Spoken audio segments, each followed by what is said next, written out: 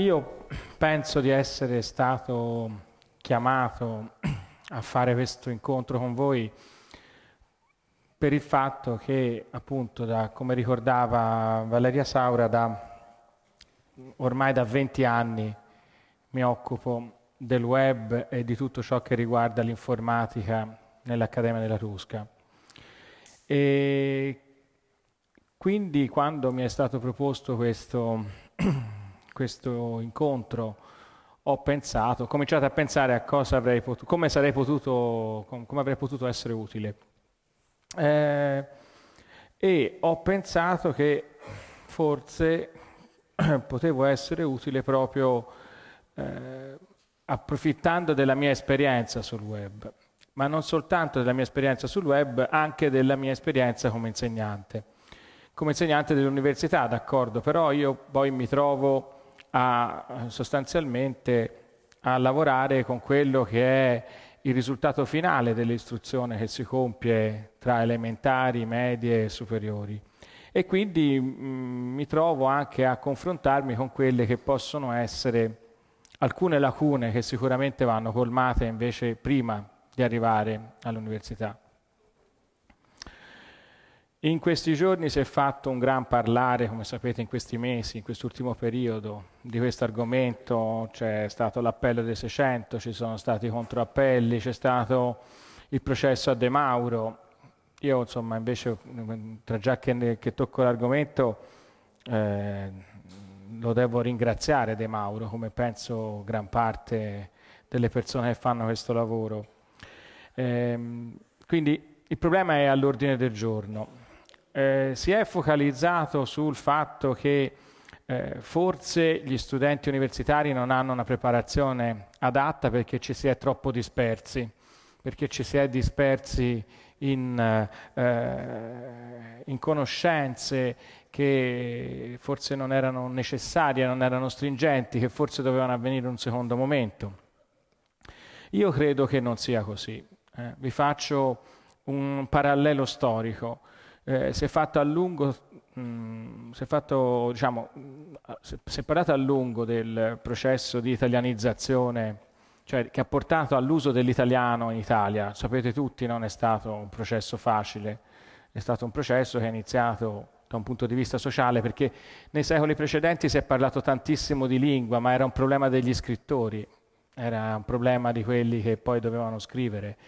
È diventato un problema sociale, cioè la lingua per tutti, per tutti gli usi, con l'Unità d'Italia, lo sapete benissimo. E si è fatto un lungo parlare sul fatto che alla scuola era stato dato un compito molto importante di diffusione dell'italiano e che la scuola invece questo compito lo ha fallito. Eh, lo ha fallito perché, insomma, se si va a vedere, basta arrivare al 1967, lettera a una professoressa di Don Milani, cioè, quindi non è che c'è... Quindi ancora dopo un secolo evidentemente la scuola aveva fallito su questo piano. E non è un mistero perché ha fallito, eh, era una scuola improntata eh, soltanto all'insegnamento di una lingua di registro alto, non si è mai preoccupata che i bambini che entravano alle elementari di fatto erano dialettofoni, non si è mai preoccupata che coloro che dovevano uscire dalla scuola dell'obbligo dovevano essere messi di fronte a una serie di eh, registri di uso linguistico che erano molto diversi per la maggior parte di loro da quello letterario, insomma tutti i problemi di cui ora no, non parlo perché non è il tema della lezione, tutti i problemi che sono stati risolti con per la prima volta l'elementare con i programmi elementari del 1985 e per le medie con i programmi del 1977, grazie a tutto quel movimento di spinta che in De Mauro poi ha origine e nei successivi eh, sviluppi legati a educazione linguistica democratica, che poi è rimasto solo l'educazione linguistica, come veniva ricordato proprio qui a questo tavolo eh, lunedì scorso. Cosa voglio dire? Perché faccio questo paragone? Perché è facile dire che la, cioè, molti si sono trincerati dietro il fatto che eh, per forza la scuola non ha funzionato, non ha funzionato perché c'è stata grandissima diserzione scolastica fino a, a, al, al, secondo dopoguerra. Eh, cioè, normativamente le scuole elementari erano gratuite fin dal 1859, erano obbligatorie per i primi due anni con la legge Coppino del 1877, ma come capite bene questo significa che i carabinieri in teoria andavano in casa a prendere i bambini che non andavano a scuola, insomma nel 1877 i carabinieri avevano problemi ben più gravi da affrontare e quindi di fatto non ha mai funzionato. Ma se noi andiamo a vedere invece per scrupolo quali erano i risultati della scuola per quanto riguarda quelli che ci andavano, a scuola, quindi per esempio se si vanno a vedere alcune pagine dell'idioma gentile di De Amicis del 1905 in cui spiega qual era la formazione di un giovinetto ben istruito, viene fuori che il giovinetto ben istruito sapeva sì parlare di filosofia, d'amore e di tante altre cose, ma come usciva dalla propria città di nascita non era in grado di nominare gli oggetti quotidiani e quindi vuol dire che dal punto di vista della diffusione della lingua la scuola aveva fallito. Qual è il parallelo di oggi? si fa un gran parlare del fatto che appunto forse ci siamo dispersi troppo. Però il problema è che gli studenti all'università non solo non hanno conoscenze eh, diciamo, grammaticali di base, ma non hanno neanche conoscenze adeguate per quanto riguarda quest- quello che dovremmo avergli trasmesso in questa dispersione.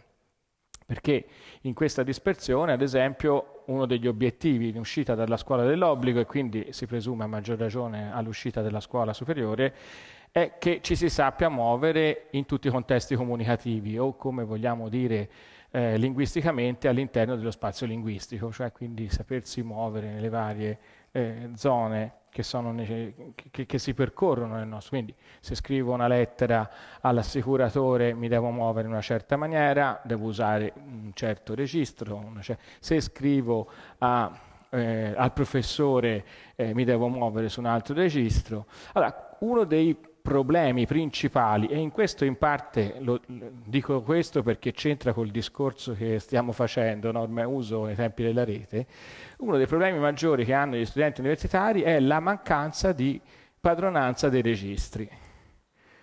Va bene? Come, qua, quasi è sconfortante perché è quasi come gli studenti Erasmus che vengono in, in, in Italia a studiare e quindi hanno una conoscenza della lingua che è di sei mesi, di un anno. No? Io mi trovo a fare l'esame professore, come professore universitario a uno studente Erasmus e quello ti dice ciao, come stai? Perché? Perché non ha padronanza del registro.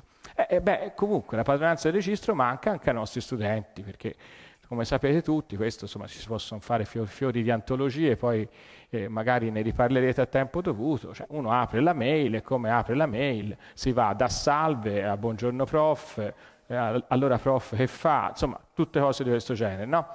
Che è un problema che non è, per quest- cioè, non è una questione, è una questione di non padronanza dei registri eh, linguistici. E se eh, noi come docenti possiamo essere benevoli, a tutti, docenti di tutti gli ordini e gradi, noi possiamo essere benevoli nei confronti di queste cose, quindi essere alla, alla mano, accettare, cioè, però il problema è che se queste persone un domani si rapportano alla persona sbagliata usando questo registro, ne può dipendere della loro vita, perché sostanzialmente io se fossi un datore di lavoro di un certo tipo di lavoro e uno si rapporta con me in questi, in questi termini, probabilmente sceglierei un'altra persona, soltanto per questo. Quindi si rischia alla fine che quello fino a poco tempo fa, poco tempo fa eh, era un po' il dialetto che in qualche modo marcava socialmente le persone. No? Ora si rischia che a marcare socialmente le persone sia un'inadeguatezza anche di, proprio in, quelle, in, quello che doveva essere invece il portato dell'educazione linguistica di De Mauro. Quindi alla fine cioè, c'è veramente qualcosa che non funziona perché allora se, se, è perché abbiamo dato troppo spazio a queste fole demauriane che le cose non hanno funzionato a scuola, Almeno su questo però forse dovevamo essere un passo avanti, invece non lo siamo.